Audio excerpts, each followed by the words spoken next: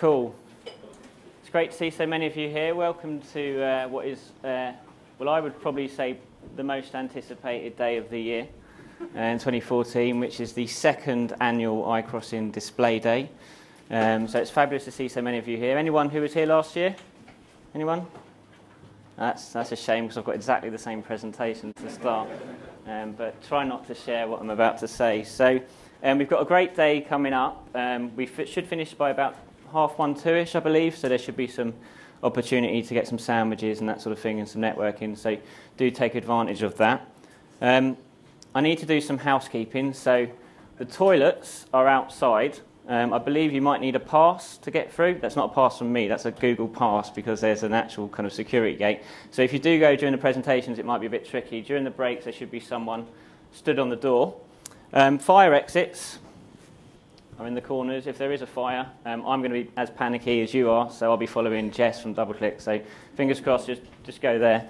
Um, this little pad here represents the bags that are on your uh, chairs. So if you're an iCrosser and you have a bag, please put it down. But if you're not an iCrosser and you don't have a bag, we'll, we'll sort you out a bag at the end. But please take, take your bags, have a look in them. This is uh, the classic marketing tat that you're going to get from any agency event. But this year, I would say that the tat is particularly good.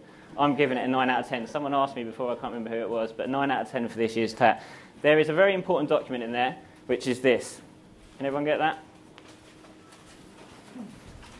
You'll also need a pen.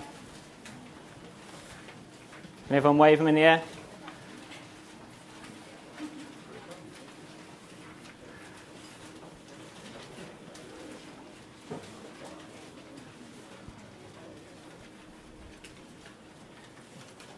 Okay.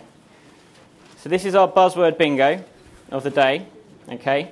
So I need you to concentrate hard and mark off each buzzword you hear as and when the presenter um, says it. I, I, kind of worried that it might be done before I finish my introduction, but we'll see.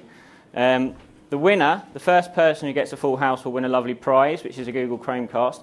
If you get that full house, I want you to stand up and shout, bingo, Okay, it doesn't matter if anyone's presenting, they'll be fine. They might be a little bit put off, but I'll be done by then, I hope. So it should be fine. As with any, uh, any kind of successful event like this, you have to have a hashtag. It's super important that you have a hashtag, and this year our hashtag is uh, IX Display. Now, I have to do segues between every presentation, right? And it's very difficult to come up with an anecdote or a joke in between whilst I'm also kind of trying to listen to the presentation. So I'm asking you all to be very helpful to me this year and make sure that you can tweet your thoughts on the presenter, any questions, and then when I come back up, I can start to read out your tweets. So please, please, please, please, please use the hashtag. Okay, iCrossers, you have to use the hashtag, but clients, please use the hashtag. I'll be very happy. Coffee, you should have had coffee. Um, you're going to need to be very awake and engaged. There's going to be some interaction. I think there's going to be some videos. Um, we will be having a coffee break a little later as well, so if you start to get tired, don't worry. Um, so the eagle-eyed amongst you would have noticed that alongside your um, invitation, there was an opportunity to respond to a survey as well. Um, now, we wanted to have a survey this year because it's really important for us to kind of find out what's important to you and help shape uh, some of the content of uh, some of the speakers that you're going to see today, and we're really thankful that you have responded in your numbers to that. So I'm going to ask Loretta Wood, who's our senior biddable display analyst, to come up on stage. I'm sure many of you will know Loretta, to talk us through some of the results. Hello. Hello. so our first question that we asked was, what do you use? What do you see as the objective of your display marketing? And this is quite a hard question to ask because it encompasses quite a lot of um, answers. So we listed our top three considerations, which were that, which showed that 15% of our respondents use display to influence consideration, 31 to build brand awareness, and 54 use display as direct response, which is great because this is something that we also believe in at iCrossing. Secondly, we asked, what role within your business do you currently use paid social for? And out of all the popular social platforms out there, over 60% of them responded with Facebook, and over 60% also use this for branding activity, which is interesting. And I think it'll be interesting to see how the Facebook advertising space evolves over time to become a direct response channel, which is um, which we mostly see display used as. We then asked, how are you integrating your display advertising with marketing channels? 42% on, said on-site content. Another 42 said paid search. And what's interesting about paid search is this is something that we use as best practice within iCrossing. It's important that you um, you integrate your paid search with display because it allows opportunities for you to share data and insights, such as audience lists and keyword lists, for example. And following that, 8% said social media, and also 8% said email. And what's interesting about these platforms is that use, um, it allows you to see user intent, so it allows marketeers to integrate with users more closely because intent is more explicit on these platforms. We then asked, what barriers do you currently face when running your display activity? The most common um, response we got here is attribution and budget. Attribution is something that we commonly see across um, display activity uh, as something that's very difficult that all marketers challenge. However, when you do get attribution right, and you are able to accurately attribute your display activity, it allows for better measurement and it allows you to unlock the value of display and the cross-channel impact it can have across your marketing channels. And then finally, we asked, how much are you currently spending on your display advertising? 60% are spending less than 100k annually. And of the 60%, 87% intend to increase this over the next six months, which is something that we, of course, are very glad to hear. Um, uh, means we'll get the room again next year, I think, if we can increase that. Um, thank you, Loretta. Um, so we've taken this data as well as some um, other insights that we believe are valuable, and we've kind of fed this into our planning. Um, so you should have an agenda in your uh, packs as well, but don't worry because I'm going to talk you through it. So we're, we're split into two sessions today.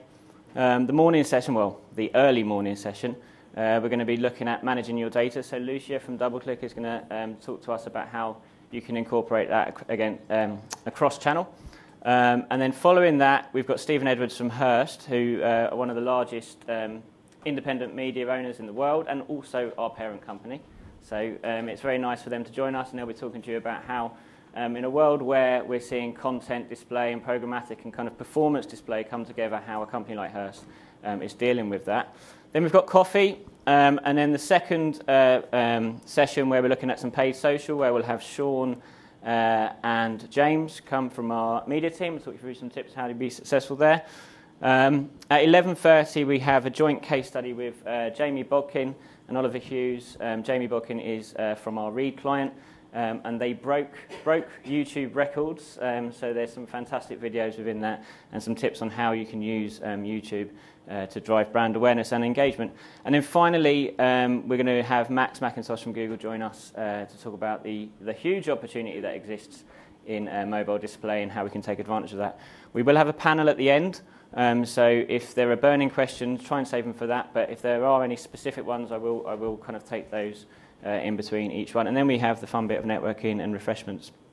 Um, so before I kind of hand over to the kind of the headline acts for the day, I'm going to indulge you with my, my own slides um, and try and kind of look at what's happened over the last 12 months. And, you know, I stood up here last year and we, we had the first display day and what was super important, and it's not Glastonbury, but it was all about audience. Um, it was all about uh, looking beyond the world of Google Display and what sits beyond that and what inventory you can reach. Um, programmatic was driving online growth, um, and on that, RTB was, was the biggest driver of it, so real time bidding. We got excited about lots of different YouTube videos. Um, attribution, it's always a problem. Um, I think it's been a problem for the last five years. We talked about that, and we also looked at how technology um, can help create or, or, develop some creative solutions uh, at scale. And so this year, what's important, what, what's changed in the last 12 months, what's everyone talking about, what is driving the agenda today? Well, I went to Thailand a little while ago, and to be honest, this phrase summed it up for me. It's the same, same, but it's a little bit different because I think sometimes we maybe, well, now we're a little bit more confident, we're a little bit bolshier. Some of the technolo- technological developments have improved, but still um, we have some of the same challenges. So it's interesting that it is going in the right direction, but perhaps not as quickly as some might like.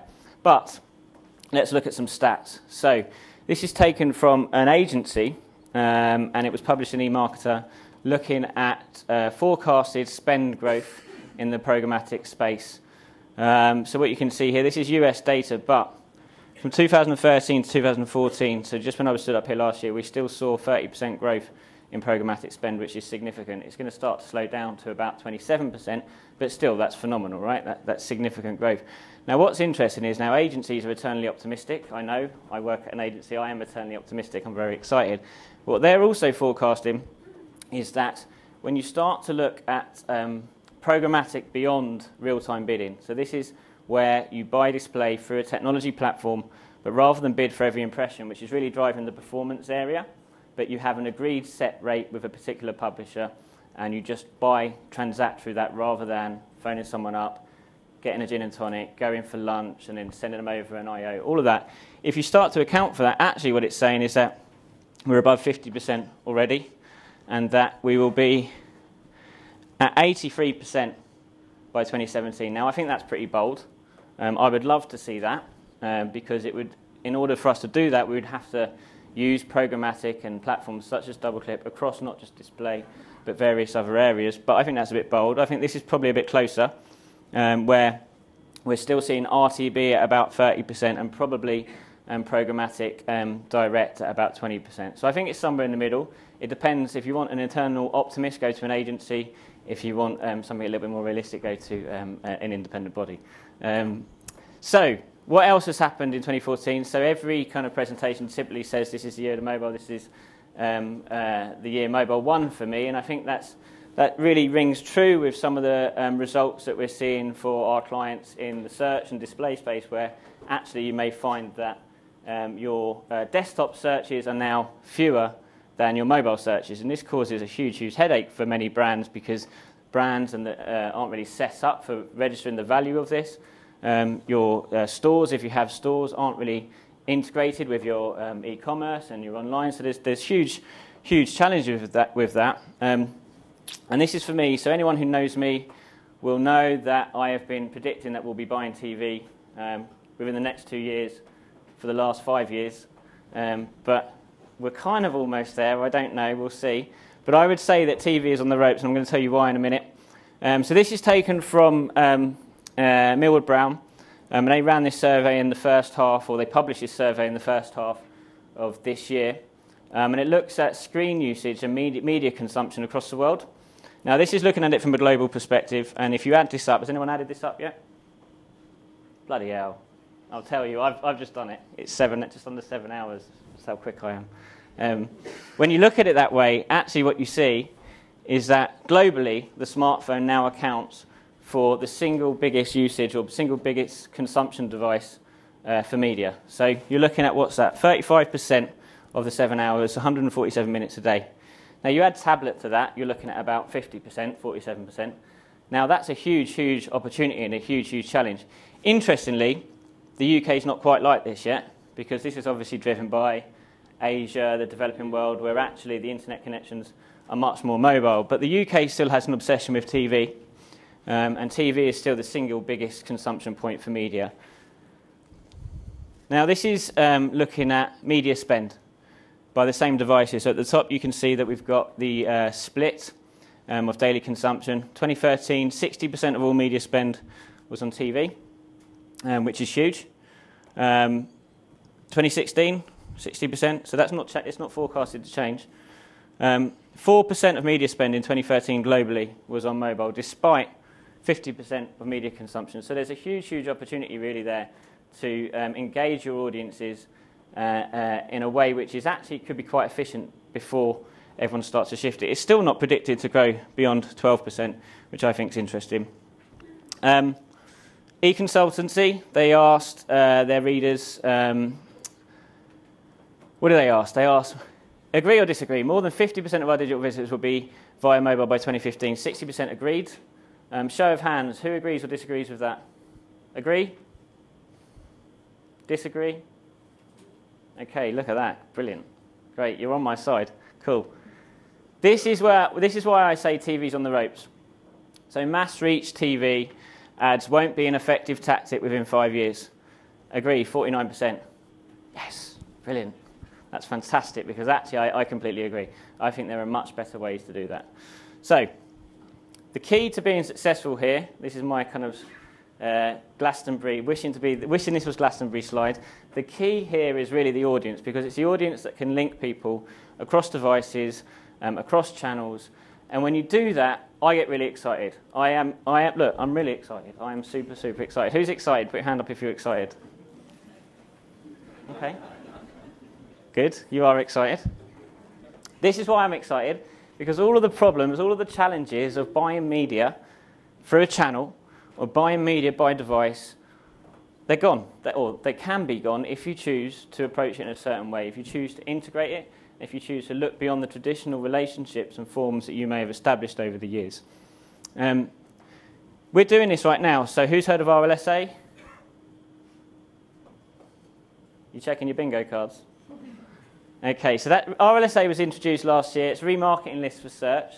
Okay, what that, do, what that did essentially was the first time you were able to bring actual data into the search auction rather than just a keyword you're buying, right? So you can, you know, imagine display where you, you someone comes to your website, you remarket off of them, and then you show them an ad. It's the same thing for search.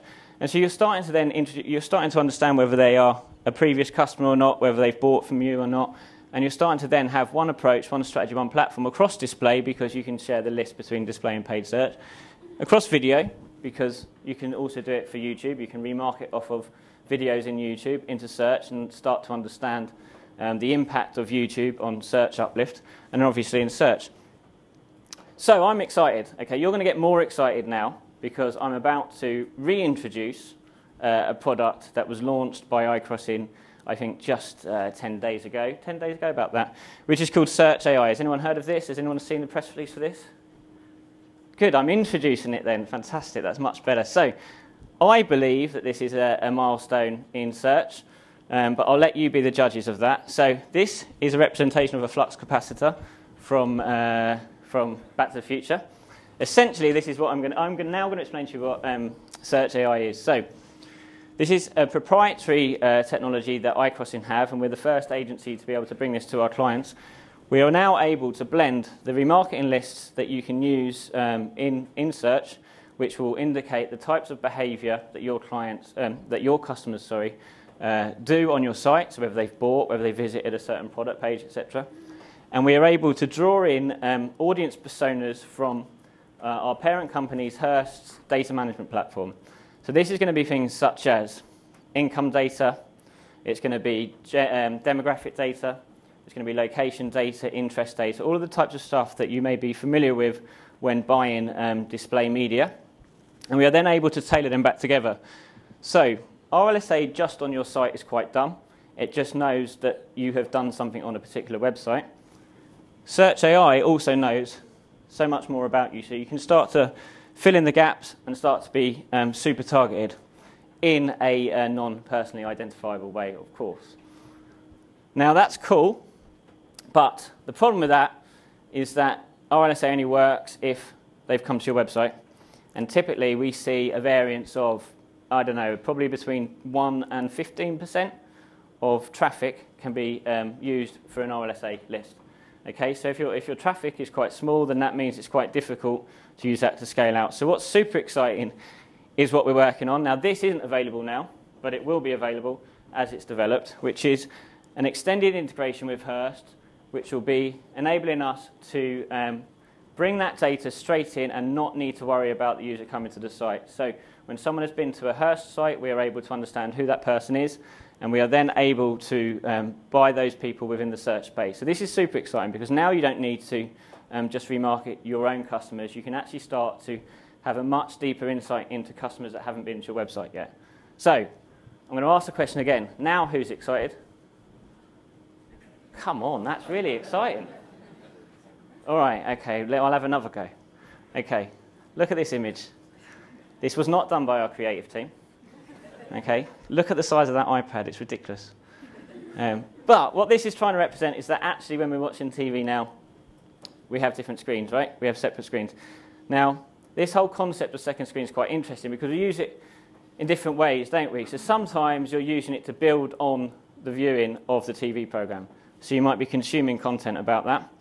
In other times, you're just not even watching it and you're tweeting because it's Britain's next top model and I really don't care about that, so I'm just doing something else or, you know, Julie's tweeting whilst I'm watching the football. But needless to say, we always have that second screen. So another thing that's actually happening now we're running for some of our clients, and I know we're about to launch for some of our clients, um, is the ability to integrate what's going on with TV with your online display buy. So there is a technology that integrates with DoubleClick that we use, which enables us to understand what is being played, whether it's an advert or a program, and then we're able to bring that directly into the buying platform and either upweight, downweight, or change our display ads. So you can imagine a world where your competitor is advertising on TV, and you may wish to then upweight all of your ads across social media and display to counteract that.